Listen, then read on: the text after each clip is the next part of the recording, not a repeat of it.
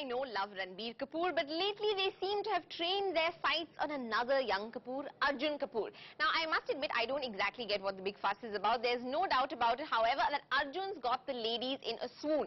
But even if Arjun is encroaching on Ranbir's female fan base, it seems it hasn't stopped them from forming a little gang of their own.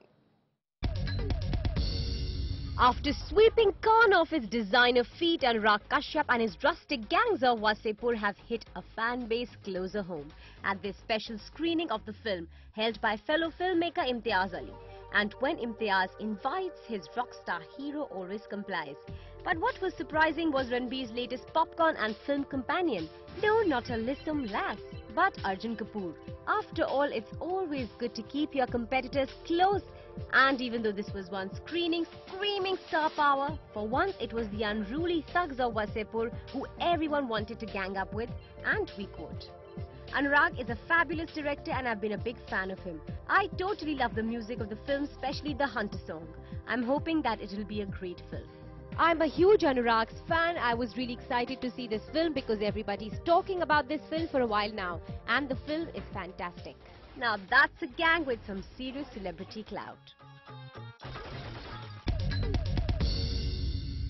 She may have films pouring into her kitty right now, but the only pouring Miss Balan is perhaps concerned about right now is how to give a picture-perfect shot in the generous Mumbai rains.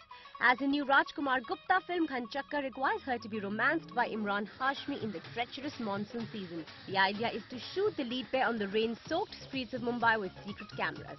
Definitely a daunting task for any actress, but Vidya is one actress who certainly knows how to go with the flow literally in this case. The film will be ready for release in the first half of 2013.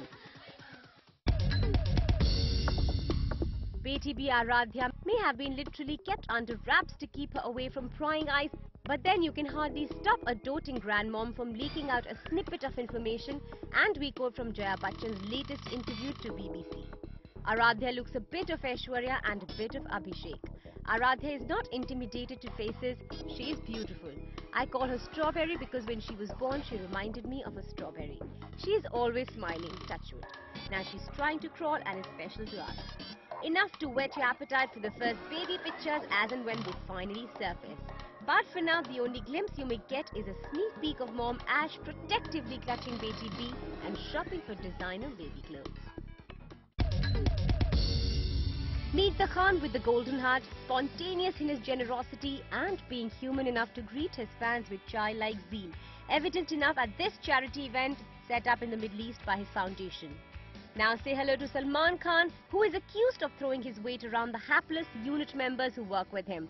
Yes, according to tabloid reports, the temperamental actor has issued a new rule on sets his new Yash Raj film, Ek Tha Tiger, where he has barred unit members from summoning him for a shot while he is in his vanity van even if it means delaying the shoot.